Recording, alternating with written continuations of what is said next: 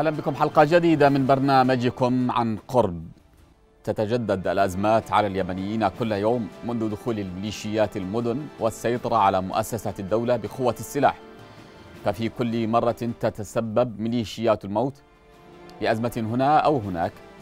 أزمة المشتقات النفطية تعود من جديد في العاصمة صنعاء والمناطق الخاضعة لسيطرة الميليشيات بسبب تعنت ميليشيات الكهنوت وإجبار التجار على استيراد المشتقات دون الالتزام بقرار اللجنة الاقتصادية العليا الخاصة بتنظيم عملية الاستيراد والإجراءات التي عممتها مؤخرا للحد من تهريب النفط الإيراني للميليشيات الحوثية بطرق ملتوية ومخالفة للقوانين الناظمة. لتتفاقم بذلك معاناة المواطنين وتشتد الأزمة بشكل لا يطاق.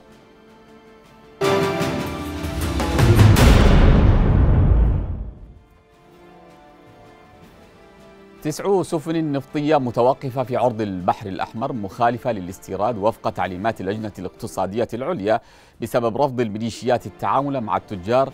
وفق تعليمات اللجنة الاقتصادية وأوعزت إليها عدم الانصياع لتعليماتها ومضامين قرار اللجنة رقم 49 الهادف إلى تنظيم حركة استيراد المشتقات النفطية فضلا عن امتناع الميليشيات عن تفريغ سفينة مشتقات في ميناء الحديدة لتفاقم من الأزمة. استمرار تعنت ميليشيات الحوثي ورفضها الانصياع لقرار اللجنة الاقتصادية العليا بشأن تنظيم استيراد المشتقات النفطية تسبب في إيقاف تسع سفن في البحر الأحمر محملة بالوقود.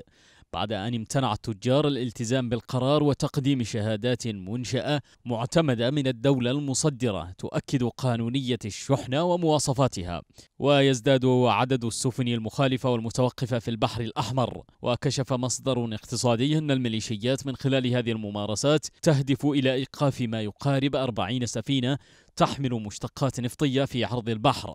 وهو ما يعرض أمن المنطقة للخطر وتستمر ميليشيات الحوثي في إعاقة تطبيق القرار في ميناء الحديدة والتسبب في أزمة مشتقات بهدف تمويل نشاطها ومراكز نفوذها ضاربة بهدف صرف المرتبات والتخفيف من معاناة المواطنين في مناطق الخضوع لهم عرض الحائط في تحد لجهود العمل الإنساني فضلا عن ترهيب التجار ومنعهم من سداد هذه الرسوم.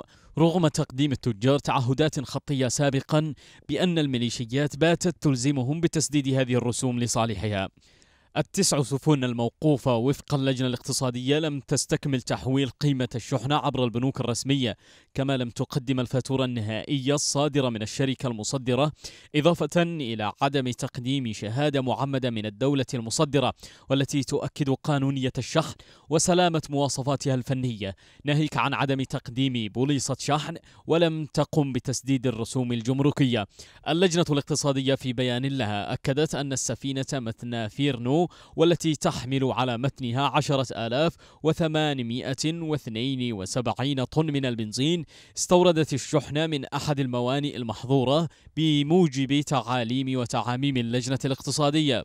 وتقدر إجمالي ما تحمله السفن المخالفة والتي أصرت الميليشيات على استيرادها بالمخالفة بنحو 150 ألفا وأربعمائة وخمسة وعشرين طنا من المشتقات النفطية بينها 86 ألفا وخمسمائة وسبعة وعشرون طنا من الديزل وخمسة وأربعون ألفا وستمائة وثمانية وتسعون طنا من البنزين وثمانية عشر ألف ومائة طن متري من مادة الغاز المنزلي.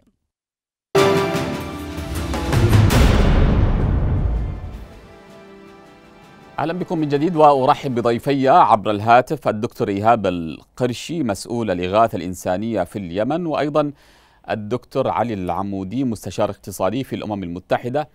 مرحبا بكما. أبدأ مع الدكتور إيهاب. دكتور إيهاب مرحبا بك. أهلا وسهلا بك. من جديد تتسبب. نعم. تتسبب الميليشيات من جديد في أزمة مشتقات نفطية خانقة في العاصمة. صنعاء هل ينقص الشعب اليمني معاناة لتضاف له هموم ومعاناة إضافية برأيك؟ اولا الميليشيات تتسبب بكل الإشكاليات منذ العام 2014 وحتى اللحظة.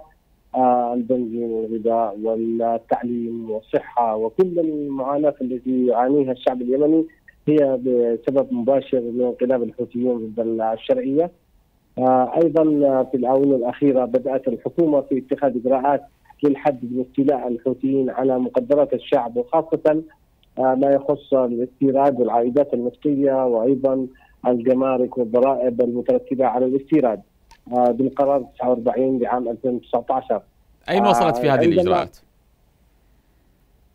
اعد عفوا أين وصلت في هذه الإجراءات؟ الاجراءات لا زالت جديدة لكن نحن نتحدث عن إشكالية عن منذ خمس سنوات ونحن نعاني من هذا الاستيراد الجائر والغير منظم. يعني نحن مثلا نرى كل يوم شركة النفط اليمنية تعاني الأمرين حتى لم يجدوا معاشاتهم أو مرتباتهم ويخرجون في شوارع صنعاء نفسها شركة النفط التي كنا جميعا نعرف مقدارها وقدرتها المالية وإمكانياتها اين ذهبت تلك الإمكانيات؟ ذهبت للسوق السوداء، ذهبت لتجار آه، جدد آه، يتبعون الميليشيات الحوثيه ويتبعون لوبي كبير يستفيد من الحرب ومن آه، القوانين أو مخالفتهم للقوانين والإجراءات. أيضا هناك توقف البنك المركزي في صنعاء وأيضا البنك المركزي في عدن حد من عملية الاستيراد نظرا لعدم وجود الإمكانيات لفتح الاعتمادات وإنما فقط عبر مصافي عدن بقرار 49 هذا حد من عملية الاستيراد. آه، أخي العزيز نحن لا نتحدث فقط عن نفط آه، وعن كارثة قد يسببها الحوثيين في البحر أو في المياه الإقليمية. جراء نيتهم في توقيف أكثر من 40 سفينة محملة بالوقود آه، في المياه الإقليمية. هذا سيعرض المنطقة للخطر، لكن أيضا هناك من ضمن السفن ليست 10 سفن فقط وإنما 13 سفينة حتى الآن من ضمنها مواد غذائية. وهناك تصحيح للارقام ليست 150 ألف طن وإنما 163 ألف طن من الوقود محملة على 10 بواخر وبالإضافة إلى الغاز واثنتين منهما محملات بالقمح وثالثة محملة كل منهما بالذرة والسكر والأرز. أيضا يعني ما يعني أنها تتعرض نقص في المواد الغذائية جراء مخالفة التجار والحوثيين للقوانين والأنظمة والقرار 49 سيتم خفض مستوى الغذاء ونحن نعلم أن أكثر من 5 مليون طن من الغذاء يستورد عبر ميناء الحديدة فلا بد من وجود آلية حقيقية وسليمة لتحويلات آه، أو فتح الاعتمادات لاستيراد المواد الغذائية عبر البنوك والبنك المركزي بالتحديد أيضا العجز في المواد المشتقات النفطية ونحن نعلم أن المشتقات النفطية هي أساس الحياة والحركة على على مدار آه، كل اليمن أو على كل المناطق وكل القطاعات. بما فيها الزراعة آه، أيضا والمواصلات وحركة المواد الغذائية وحركة الأسواق تعتمد كلها على المشتقات النفطية ناهيك عن الكهرباء. آه، أي نحن مقدمين الآن بسبب تعنت الحوثيين والتجار الذين خافوا من من أوامر الحوثيين بالالتزام بالقوانين والاستيراد عبر البنك المركزي وفتح الاعتمادات بشكل قانوني بدل من تهريب الأموال أخي العزيز نحن نرى آه، ويرى ويرى كل مواطن في اليمن هناك منتجات كثيرة يعني صناعة ما قبل أيام كانت في المملكة العربية السعودية أو في الخليج أو حتى في الخارج توصل إلى كل المدن في اليمن، كيف توصل هذه المواد الغذائية والمواد الثانوية؟ مثل الزبادي والجبسي والايس كريم والحلويات، وكيف نوقف المواد الغذائية الأساسية مثل القمح والذرة والسكر وأيضا الوقود، لابد من وجود آلية آه واضحة وسليمة، لابد أيضا من الحكومة أن تفعل دورها في ميناء الحديدة، لابد من ستوكهولم أن يستكمل. آه نحن على على مشارف كارثة حقيقية في البحر وفي الأسواق. وأيضا معاناة تتفاقم على 20 مليون مواطن أكثر مما هي متفاقمة. نعم ابقى معي دكتور إيهاب إذا سمحت دكتور علي مرحبا بك. مرحبا يا أهلا نعم تحدث ضيفي عن أنه منذ خمس سنوات والمعاناة مستمرة في هذا الاستيراد غير المنظم صحيح. إضافة صحيح. إلى أنه في الآونة الأخيرة يعني رسو تسع سفن محملة بما يقارب 163 ألف طن من المشتقات النفطية والمواد الغذائية. القانون الدولي كيف ينظر إلى هذه يعني آه، هذه التجاوزات من الميليشيات الحوثية؟ بسم الله الرحمن الرحيم. اولا أشكر أشكر قناة اليمن اليوم على الاستضافة هذه والإضافة المعرفية لجميع المشاهدين. آه، تحياتي للجميع وتحياتي للدكتور إيهاب القرشي. آه، الحقيقة الدكتور إيهاب أضاف إضافة جيدة اللي هو بالفعل الكميات هذه اللي ذكرها اللي 163 ألف طن من النفط طبعا الخام وغير النفط المسال الغاز غير الكيروسين غير البنزين. آه الذي اريد أقوله بالنسبة للأنظمة والقوانين الدولية معروف جدا معروف جدا أخي العزيز والمشاهدين إن الميليشيات الحوثية ضربت بعرض الحائط باتفاقية ستوكهولم. وهي كانت الاتفاقية الملزمة من الأمم المتحدة والذي يعني اتفقت عليها أمام أمام العالم كله واتفقت على كل الاجراءات والبنود بإلزام بتسليم الاجراءات القانونية في آه، ميناء الحديدة إلى الحكومة الشرعية. إذا ضربت بهذا الاتفاق الدولي الكبير الذي ألزمت الأمم المتحدة فيها الحوثيين بضرب بالحائط زي ما يقولون يعني نعم. ولم تلتزم هذا الالتزام الفعلي فما بالك الا بالممارسات هذه هذه هذه صراحة يعني تعتبر تعتبر من من الاشياء من الجرائم الإنسانية الكبيرة التي التي ترقى إلى الجرائم الإنسانية في حق الإنسانية الوقود الذي الذي تحتاجه اليمن و40 سفينة الآن على آه، متوقفة حاملة من الوقود والمواد الغذائية أضاف إليها الدكتور إيهاب. حقيقة جريمة جريمة بحق الإنسانية. شعبنا نحن مش يعني مش ناقص زي ما يقول مش ناقص ابدا إنه يتحمل أكثر مما يتحمل. ولكن هذه هذه إجراءات قانونية، الأمم المتحدة صريحة بكل قوانينها. في منظمة اسمها منظمة ال I ال IMO International Maritime Organization اللي هي المنظمة العالمية لأعالي البحار. اتفاقاتها صريحة ومعروفة اللي هي اتفاقية كوب of uh, Convention of Parties. واليمن موقع على هذه الاتفاقية اللي هي اتفاقية عالي البحار. قوانين لا يمكن لا يمكن أي دولة تتجاوزها هناك في إلزام دولي وقوانين دولية. لكن للأسف نحن نتعامل مع ميليشيات. العالم لازم يعرف إنك تتعامل أنت مع ميليشيات نعم والميليشيات ليست دوله والامم المتحده كما وصفتها صريحة ولكنها ليست صريحة في تسمية المعرقل لاتفاق ستوكهولم أيوة. والمعرقل لكل ما يمر به الشعب اليمني من معاناة يعني آه، الميليشيات أيوة. الحوثية نعم. لم تنفذ نعم. بند من بنود اتفاقية السويد على مدى تسعة أشهر وللأسف الحكومة الشرعية ماخذة موقف سلبي في هذا الموقف أنا أقدر أقول لك لأن لم تضخ الأمم المتحدة لقراراتها يجب أن يسمع قرارات الأمم المتحدة ولم وليس من المعقول أن ميليشيات مجموعة ميليشيات تضرب بكل القرارات الدولية عرض الحائط. نعم ابقى معي دكتور إذا سمحت. دك... نعم. دكتور إيهاب يعني ما المانع من أن تكون هنالك آلية واضحة للاستيراد؟ الآلية موجودة أستاذي لكنها معطلة يعني نحن نتحدث ما المانع من تطبيق؟ اولا أنا سأشرح لك الآلية باختصار، الآلية هي عبارة عن فتح اعتمادات مستندية لاستيراد أي مواد من خارج اليابان، وهذا لا تتم إلا عبر آه يعني البنك المركزي، البنك المركزي آه لديه مشكلتين، اولا لا تمتد صلاحياته وسلطته على كل اليابان وبالتحديد صنعاء والمحافظات التي تندرج تحت طائله الحوثيين. أيضا لا توجد هناك الإمكانية المالية لدى البنك المركزي لتغطية كل الاحتياجات في اليمن، نحن نحتاج إلى 5 مليون طن غذاء، هذه تدخل منها 80% عبر الحديدة. معطلة من حيث القيمة الموجودة لدى البنك المركزي لتغطية الاعتمادات واحد، أيضا تعطيل الميناء من قبل الحوثيين وعدم التقدم في اتفاق ستوكهولم.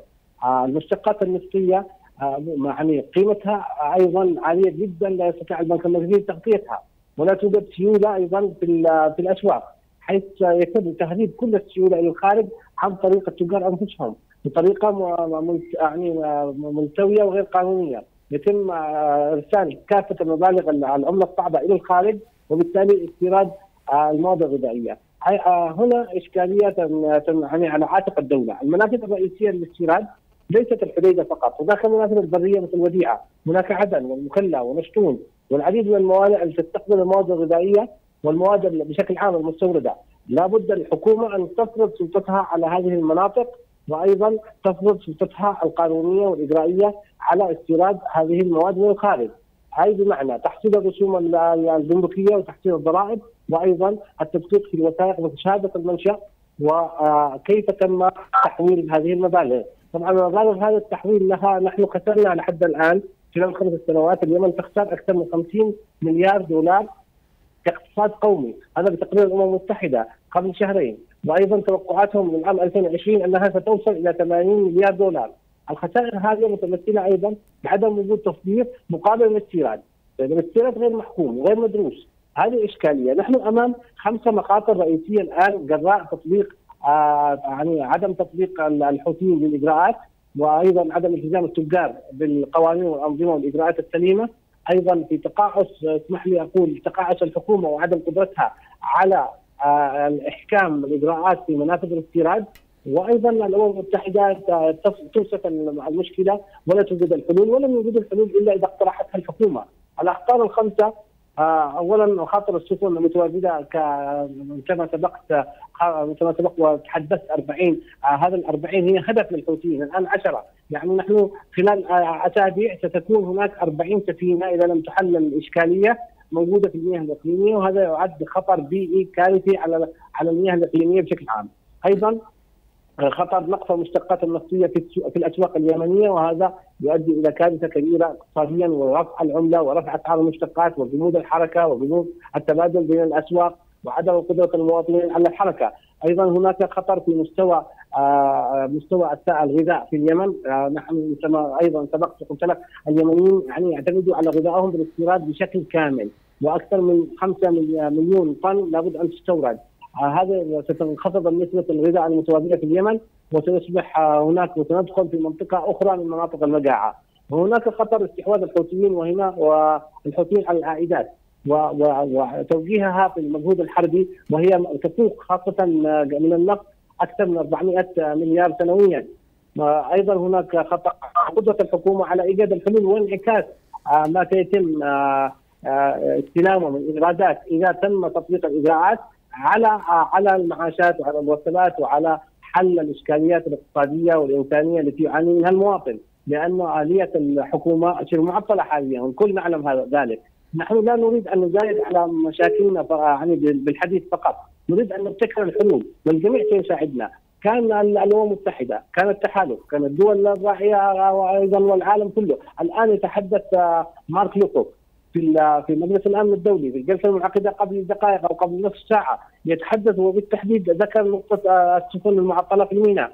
أيضا تحدث بريفيك عن الموضوع نفسه. وتحدثت بريطانيا أيضا عن نفس الموضوع وتحدثت دول كثيرة عن نفس الموضوع. اذا وكلهم يتحدثون بأن هناك أكثر من 80 حتى على على مستوى كيل كراس تحدثت الممثلة الأمريكية بأن 80% من المواطنين اليمنيين يحتاجون المساعده الإنسانية وتحط تحط العالم على على الإجراءات الحل الاقتصادي ويشيرون جميعا إلى ارتفاع على نسبة العملة بشكل ملحوظ. وقد يتم تجاوز السقف المتوقع لارتفاع العملة، هذا كله ينعكس على على مشكلات المواطن، نحن عندما نتحدث عن فئات مهمشة في اليمن سابقا كنا نتحدث عن مئات الآلاف من المهمشين الآن. الشعب اليمني كله مهمش في الهامش، أين الحلول لهذا الشعب اليمني الذي لا يمتهن لا السياسة ولا الحرب ولا هو مستفيد من أي نشاط آخر ولا حوارات أيضا.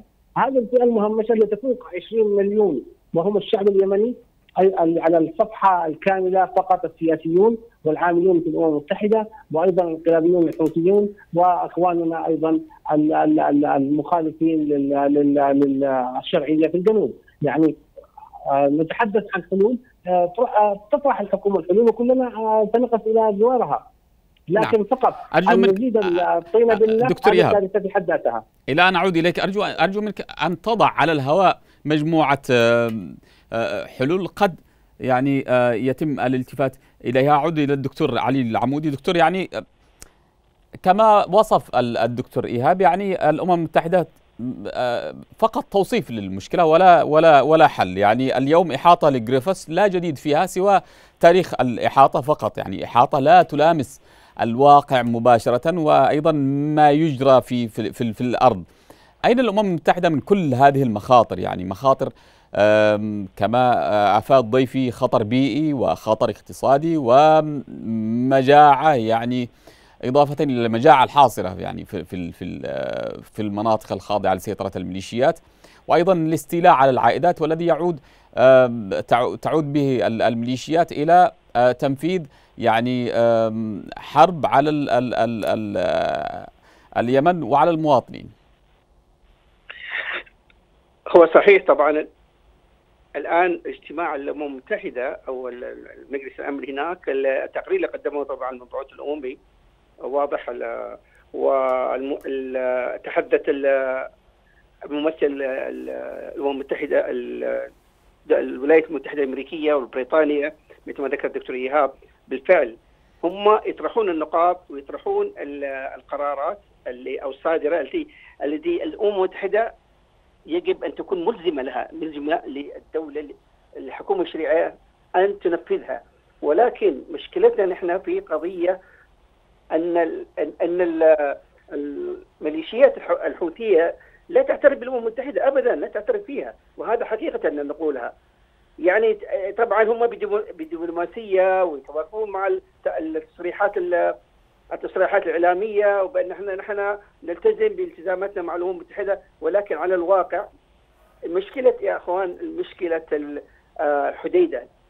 إذا انحلت انحلت كل القضايا ال ال ال الإنسانية والقضايا الاقتصادية وكل المشاكل. أنا بتناول قضية من المخاطر والكارثه البيئية اللي ممكن تحصل بوقوف 40 سفينة لأي أسباب كوارث بحرية أو إضافة إلى لا ننسى لا ننسى أيضا السفيرة السفينة الراسية في البحر يعني سفينة نعم صافر نعم. نعم قناتكم القناة يعني مشكورة اليمن اليوم عملت تغطية شاملة في إحدى المشاركات اللي شاركت فيها اللي هي سفينة صافر. نعم. والذي تحمل تحمل مليون و200 ألف طن من البرميل برميل من النفط الخام. نعم. وهذه بتسبب أكبر كارثة بيئية في العالم كلها. وهي نعم. وهي قنبلة موقوتة بالفعل هذه لا يمكن إن إحنا ننساها يعني ننسى هذه القضية نعم. بالإضافة إلى ال 40 سفينة المتواجدة نتيجة الأحوال الجوية تغييرات المناخية الأهواء المائية لأي سبب من الأسباب أو تسرب قد يكون تسرب نفطي موجود أثناء وقوفها مثلا فهذه هو كلها كارثات لها أعباء اقتصادية وأعباء بيئية على على على على حياة الإنسان الذي يتغذى من يتغذى من الأسماك ويتغذى من الثروات المائية والبحرية اليمن. فكلها يعني هذه عوامل مشتركة. لكن اللي أريد أقول أنا الأمم المتحدة في قراراتها مشكلتها والدكتور إيهاب يشاركنا هذا الرأي إنها غير ملزمة. الإلزام يجب من الحكومة الشرعية للدولة يجب أن تقوم بتنفيذ هذه القرارات التي تتخذها. لذلك يجب أن تكون يعني الحكومة الحكومة الشرعية أن تتخذ كل الإجراءات ال ال سواء كانت سواء كانت على الأراضي اليمنية أو كانت عبر المجتمع الدولي.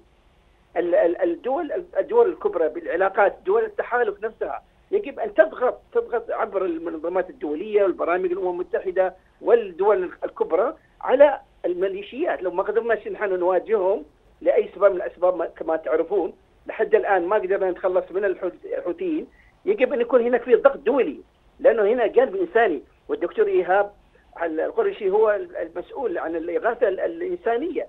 فحقيقة كلامه منطقي جدا لأن هذه الأشياء لها انعكاسات على على معاناة ال ال الإنسان اليمني الشعب اليمني في في في, في ارتفاع أسعار الوقود المحروقات. الغذاء اللي يتغذاه الإنسان ونحن 98% يعني تقريبا 100% من من من احتياجات الشعب اليمني هي مستوردة من الخارج. ما لم تكون بعض المواد الزراعية التي نحن والثروه السمكيه نعم. لكن الأشياء الأساسية والوقود هو مستورد من الخارج. فهذه كارثة حقيقة يعني. ما لم نعم. يكون في معالجة معالجة من الحكومة الشرعية. لماذا هذا الصمت؟ لماذا هذا هذا السكوت من من حكومتنا؟ يجب ان تكون قائمتهم لأنه الإنسان اليمني هو اللي يعاني هذه حقيقة نعم. يعني يجب نقولها بصراحة عبر هذه المنصة الإعلامية إنه الحكومة الشرعية يجب أن تتحمل مسؤوليتها التاريخية أمام نعم. شعبها نعم يجب نعم. أن تكون هذه مسؤوليتهم امام أمام شعبها ولا حقيقه نبقى نحن متفرجين وحفنا حفنا من ال من ال الميليشيات قائمين قائمتها على مستوى العالم كلها نعم. تضرب بقرارات الأمم المتحدة كلها ضرب آه، يعني عرض الحائط. نعم الدكتور علي بن عوض العمودي مستشار التنمية المستدامة في الأمم المتحدة. شكرا جزيلا لك. دكتور إيهاب يعني هذه المخالفات من الميليشيات وأيضا كل هذه المخاطر المحدقة بالمنطقة بشكل عام يدفع فاتورتها المواطن. يعني ما هي الحلول المقترحة؟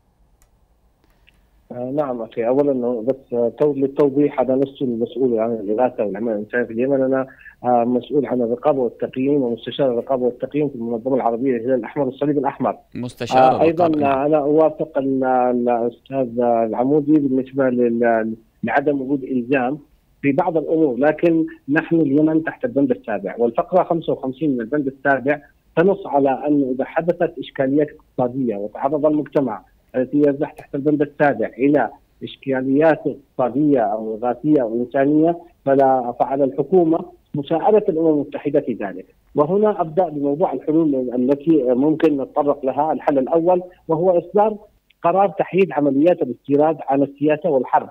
لابد أن تحيد هذه عمليات الاستيراد، نحن لا نستطيع التصدير ولكن آه لابد أن تبقى اليمن تستطيع استيراد على الأقل المواد الغذائية والمشتقات النفطية. آه أيضا النوع الحل الثاني هو تفعيل دور البنك المركزي في كل المناطق. يعني لا يبقى فقط في المناطق المحررة وغير المحررة آه يعني معطل، لابد أن يعني يبدأ بتفعيل دوره في كل المناطق.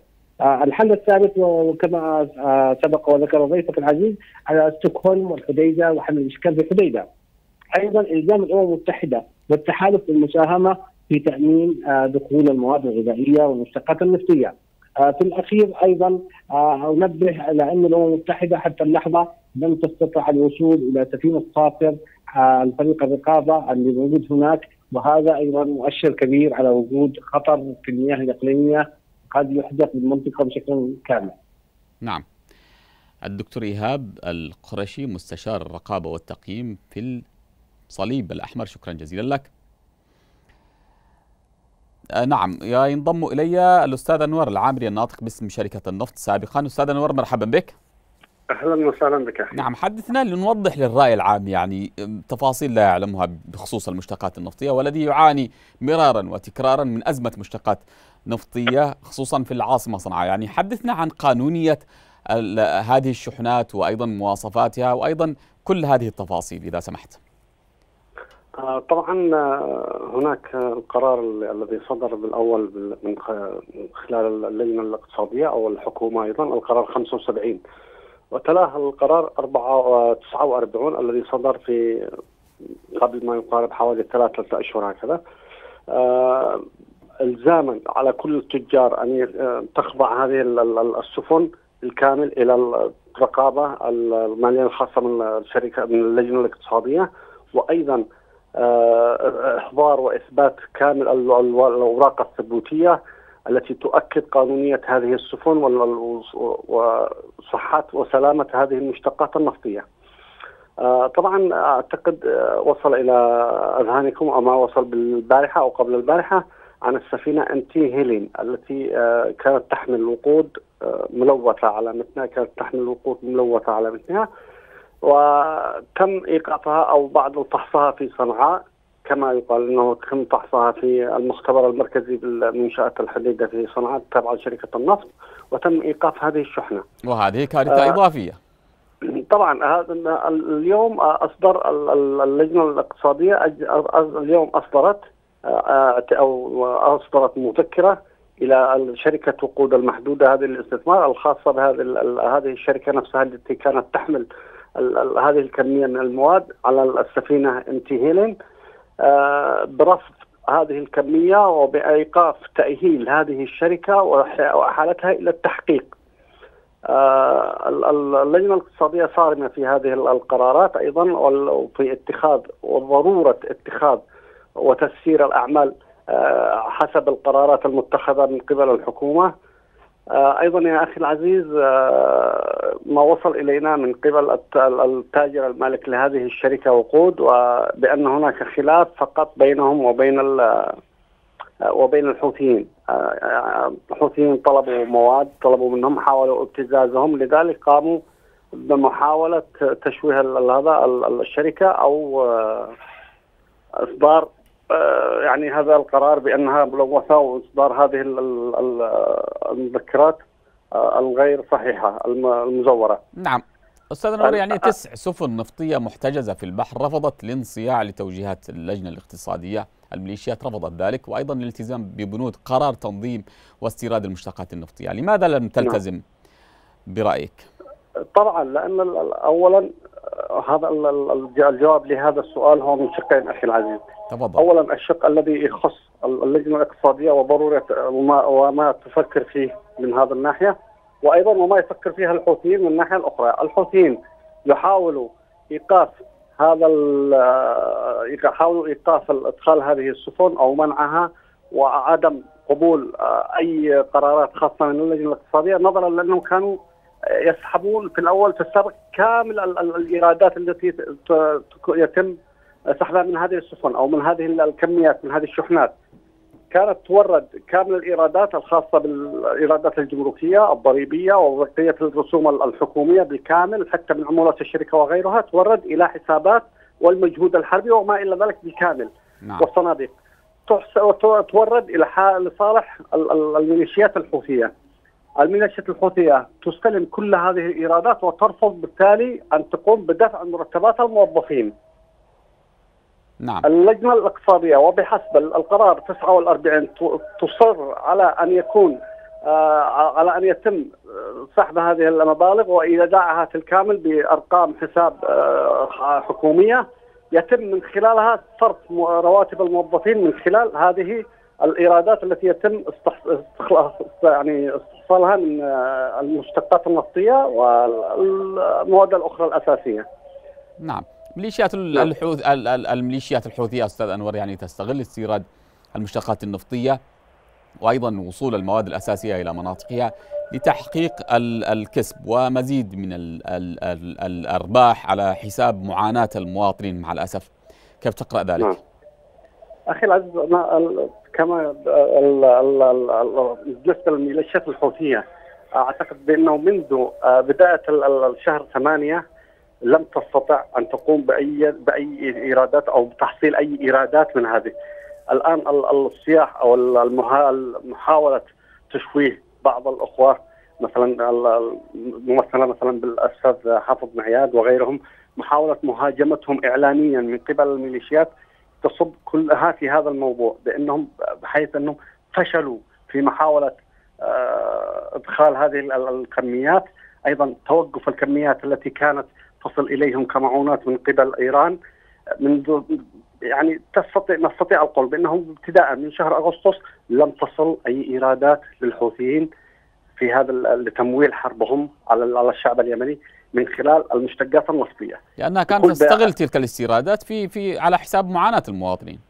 نعم كانت هي تستغلها كانت تسحبها بالكامل وبالتالي لا تسلم حتى الرواتب الآن الآن هناك أيضا توجه الآن من قبل الحكومة أو من قبل أيضا اللجنة الاقتصادية ومن قبل آه، شخصيات كبيرة يحاولوا الضغط على الأمم المتحدة أيضا بأن تتدخل هي وأن تقوم يعني تذهب هذه المبالغ بالكامل التي يتم تحصيلها كإيرادات من المشتقات النفطية ومن غيرها من كامل السلع التي تصل إلى الموانئ.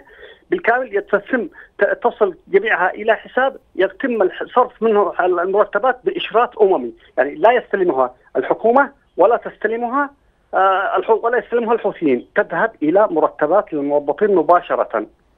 نعم طيب. وهذا الضغط الذي يتم في هذه الفترة إن شاء الله نعم وهو بشهر بإذن الله يتم. وهو سؤالي الأخير لك أستاذ أنور. يعني نعم. إجبار التجار على أمور مخالفة ألا يعد ذلك من ضمن الانتهاكات التي دأبت عليها الميليشيات؟ طبعا هو أصلا آه، كما ذكرت لك أخي العزيز صياحهم بالكامل هو من أجل تحصيل هذه المبالغ. عندما توقفوا من تحصيل هذه المبالغ من ابتزاز المواطن الآن تختلق الأزمات.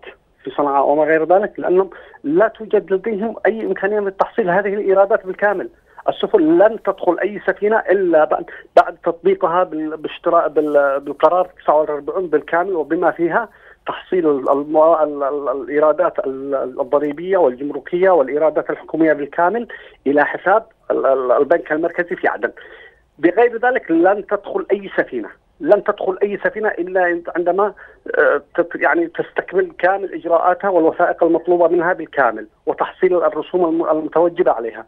هذا ما يجعل الحوثيين يصيحون بشكل متكرر لانهم لم يعد لديهم مصدر للابتزاز لا من التاجر ولا أيضا من الحكومة. سيكون هناك أشراف أممي لن يستطيعوا حتى برفع السعر لاحقا لأن هناك أشراف أممي باستقبال هذه المواد وبصرف المرتبات وعلى البيع بالمبالغ التي يتم تحديدها كسعر رسمي في جميع نعم. أنحاء الجمهورية وليس فقط في المناطق الخاضعة للحوثيين. نعم، الاستاذ أنور العامري الناطق باسم شركة النفط سابقا شكرا جزيلا لك والشكر لكل ضيوفي في هذه الحلقة وللمشاهدين الأعزاء في أمان الله.